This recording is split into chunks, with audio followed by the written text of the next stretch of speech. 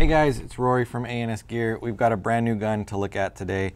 This is the Fusion Elite. This is the latest model of the Fusion series.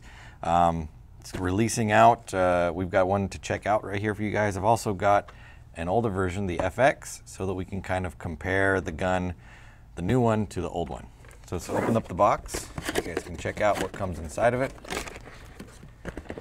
So inside the box, you are going to get a carrying case that. This is kind of reminiscent of the Rev-I carrying cases. Um, go ahead and zip it. Fold it open. You can see you're going to get your gun right here. And then you're going to get some parts on this side. We'll look at what comes in the little sleeve here. You're going to get your manual. You're also going to get a quick start tuning guide. Uh, it's just a very basic run through of, of the parts and how to set them up. If you really want a better explanation, look in your manual. And then a bunch of stickers. You always get a bunch of stickers from Dangerous Power and also a barrel sleeve.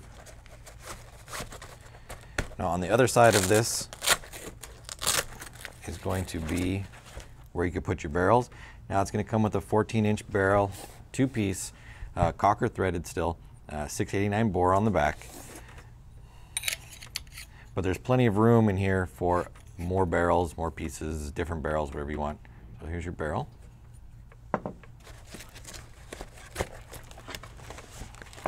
Here's our gun. And then also we've got parts kit right there, some lube and O-rings, extra detents, and then a uh, Allen key set.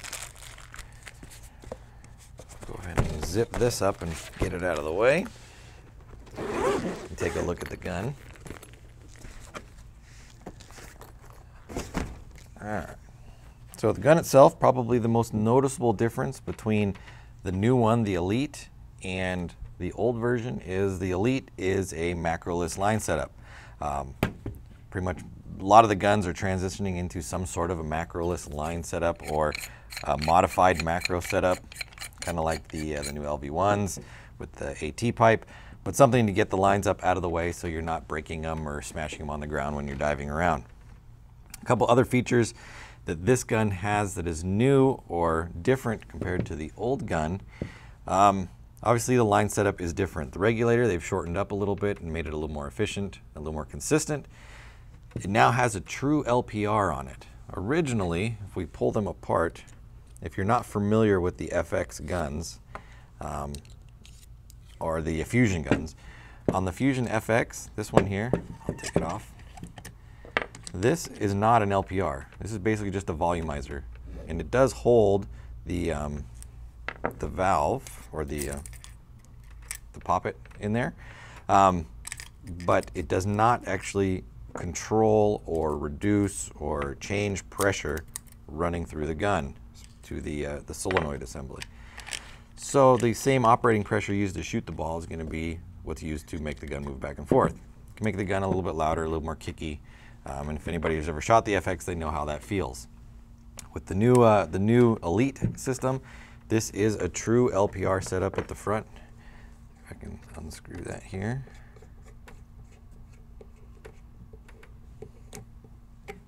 You can see that it is adjustable through the front controls the pressure running into the solenoid. So you definitely can drop the, the working pressure of the solenoid um, and make it a smoother running gun. Still does have the same spring um, and poppet setup, although now they're using a traditional valve style inside here where the valve piece is a Delrin valve piece. It has the O-rings on it. You can pull it out and this is more of a traditional cup seal where it's going to seat against the valve inside there. The old FX was a little bit different where it didn't actually use a a valve assembly, if you're familiar with the one in an LV1 or an Ego, how it looks, very similar to that now.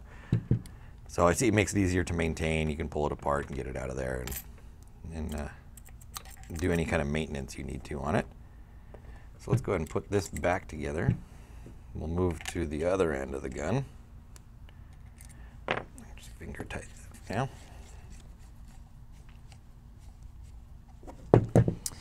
Uh, we'll move across. You can see the eye covers are pretty much uh, standard eye covers, nothing fancy about that. The trigger they have changed on the FX over here. You had this swivel trigger where you could turn it from being um, more of a one that comes out or backwards. They got rid of that and just going with the, the standard standout trigger, the scythe style trigger. Um, pretty much this is the way everybody's guns look. I don't know anybody that shot their FX the other way around. Everybody shot it like this, so it's just something that you didn't need to have in your gun, so they got rid of it for the new one.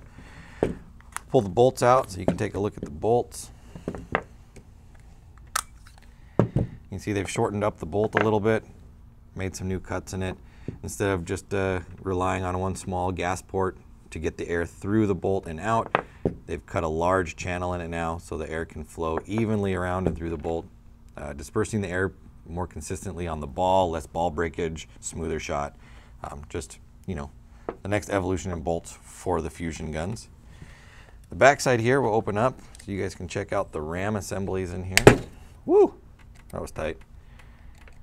Let's go ahead and open that up. Pull that off of there. Pull the ram out.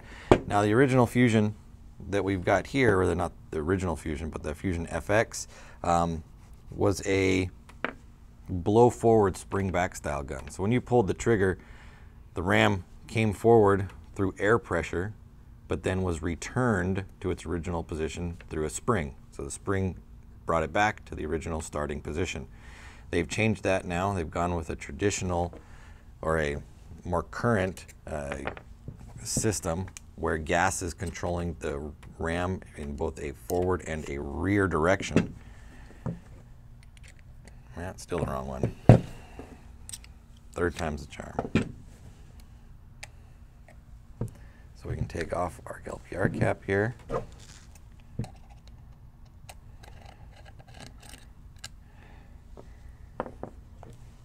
And get our ram out. All right, so you can see the ram is very different than the way it used to be. Most people are going to be used to seeing a ram that looks like this. It looks very similar to a bob ram or a planet ram. Um, where you've got air flowing in both directions to control the motion of the bolt or the, uh, the rammer back and forth. Uh, by doing this, you know, you're able to control the way the gun shoots a little bit better, make it smoother, make it quieter, uh, make it more efficient, and just make it altogether a better shooting platform. So that's another great upgrade that they've done with this gun. Getting rid of the, the, uh, the blow forward spring return design definitely is going to be a step in the right direction as far as how this gun shoots.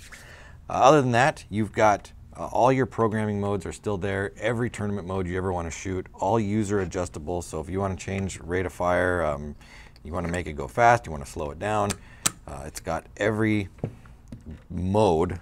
I know I've said that, but there's a lot of them. All your Millennium series, ramping, reactive, full auto, um, PSP, everything you could possibly want is inside this gun. We'll go ahead and weigh them so you can see if there's any weight difference between the two. So let's get our bolts back together here. Uh, that one's on there. That's tight. Put that in there. So we do have our scale. We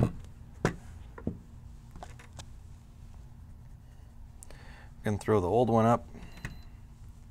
What is that? One point nine six, I think. Hard for me to see it on there. Yeah. Put this one on there. 1.10. Now this one does have a battery in it right now, so it is that little bit of extra weight you're seeing is going to be due to the battery. Uh, let's put the barrels on them.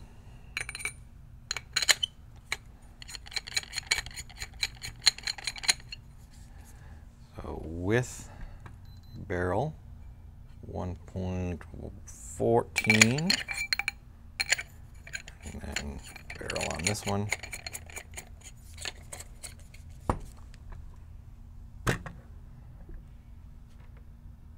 So yeah, basically the weight you're seeing is going to be the same.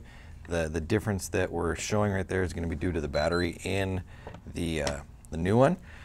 The old uh, OLED screen was on the back of the FX. They have moved it to the side, a little bit easier to see. Your hands isn't going to be covering it when you're using it. I do have a battery in here, so let's power it up. You can see there's your screen right there. Um, same uh, Same way to enter programming modes. You're going to hold the trigger down when you turn the gun on, and you're going to be able to access all the modes um, straight through the trigger. You don't need to fumble around with any of the buttons on the back. Unless you want to change settings, then you're going to use the buttons as well. So a very straightforward programming design. Still has the wraps on off ASA. Um, basically, this is a great change to the FX line or the Fusion line. Everything that people didn't like about the old one, uh, they definitely addressed it in the new one. So when you have a chance, check this one out on the website. They're available in five different colors, I believe, uh, available through the website. So order yours now at ansgear.com.